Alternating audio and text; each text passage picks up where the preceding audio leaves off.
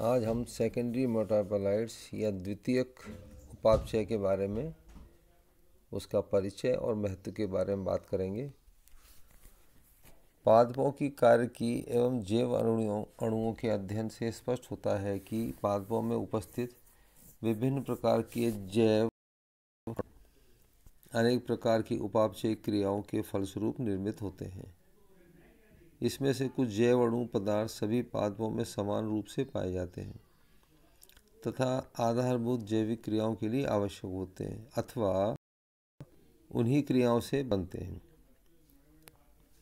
ये पदार्थ प्राथमिक उपापचय प्राइमरी मेटाबोलाइट्स कहलाते हैं। डीएनए, आरएनए, प्रोटीन कार्बोहाइड्रेट वसा अमीनो अम्ल इत्यादि इनके उदाहरण हैं।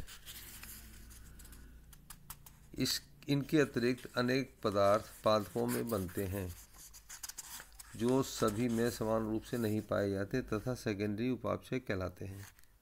सेकेंडरी मेटाबोलाइट्स कहलाते हैं। पादप उपापचय क्रियाओं के दौरान अनेक प्रकार के पदार्थों का निर्माण होता है, जो प्रत्यक्ष रूप से पादप वृद्धि एवं विकास में कोई योगदान नहीं देते। इन्हें द्वितीय उपापचय कहा जाता है। ये अनेक प्राथमिक उत्पादों के निर्माण के दौरान अनेक मध्यवर्ती पदार्थों से निर्मित होते हैं।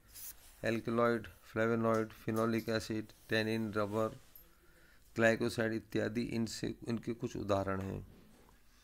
अनेक द्वितीयक उपापचय lipid, carbohydrate, amino acid, protein आदि के व्युत्पन्न यानी डेरिवेटिव्स होते हैं। ये पदार्थ सभी पादपों में समान रूप से नहीं पाए जाते। इनका वितरण विशिष्ट पादप समूहों एवं ऊतकों में सीमित रहता है।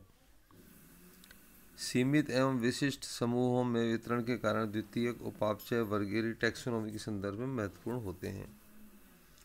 हालाँकि द्वितीय उपापचय प्रत्यक्ष वृद्धि एवं विकास में महत्वपूर्ण नहीं होते, किंतु विभिन्न उपापचय अनेक महत्वपूर्ण प्रक्रियाओं में सहायक होते हैं। उदाहरण, लिग्निन कोशिका को मजबूती प्रदान करता है। अनेक द्वितीय उपापचय पुष्पों में विशिष्ट सुगंध प्रदान करते हैं, जो विशेष कीट आदि को आकर्षित कर परागण क्रिया में सहायक होते हैं।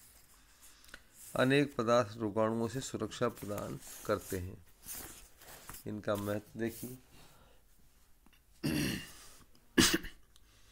पादपों में अनेक स्टीरोड अथवा स्टीरोल रिंग हार्मोन है, जो प्रजनन संरचनाओं में वांछित प्रजनन अंग अथवा स्थल तक आकर्षित करने में सहायक होते हैं। दूसरा, अनेक उच्च वर्गीय पादपों फाइटोस्टिरॉल विभिन्न प्रकार के कीटों में सुरक्षा प्रदान करते हैं। ऐसे कीट जिनमें इन स्टीरॉयड से बचाव स्वरूप कोई तंत्र विकसित नहीं है। यदि इन्हें ग्रहण करते हैं तो इनके भार में कमी, मोल्टिंग में व्यवधान अथवा मृत्यु तक भी हो सकती है। तीसरा कीटों में विशेषतः आर्थ्रोपोडा में स्टीरॉइड्स मोल्टिंग हार्मोन के रूप में वृद्धि में सहायक होते हैं। चौथा। सेपोनिन एक प्रकार के स्टीरॉयड हैं, जिनमें डिटर्जेंट प्रॉपर्टीज़ होती है, एवं इन्हें शैम्पू, साबुन, डिटर्जेंट आदि में प्रयोग किया जाता है। पांचवा। स्टीरोल जीवाणु कोशिकाओं के अतिरिक्त अन्य सभी कोशिकाओं में की झिल्लियों में पाए जाते हैं एवं उनमें स्थिरता प्रदान करते हैं। नंबर छः कुछ पादप सेपोनिन को विभिन्न हार्मोनों में परिवर्तित किया जा सकता है। डाइसजेनिन को एस्ट्रोस्ट्रोजन प्रोजेस्टिनोन और कॉर्टिकोस्टेरॉइड्स में बदला जा सकता है। सातवां, सेपोनिन पोषण में हर्बल औषध के रूप में तथा प्रसाधन सामग्री यानी कॉस्मेटिक में भी इस्तेमाल किया जाता है।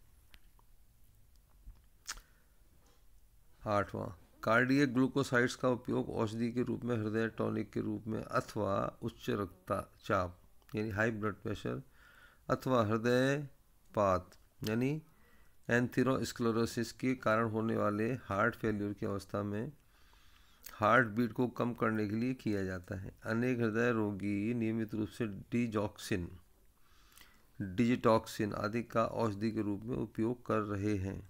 नौ नंबर अनेक स्टेरॉयड मनुष्य के लिए महत्वपूर्ण हैं, क्योंकि उन्हें अनेक जंतु, हार्मोनों एवं विशेषतः प्रोजेस्टेरॉन के लिए पूर्वगामी के रूप में उपयोग किया जा सकता है।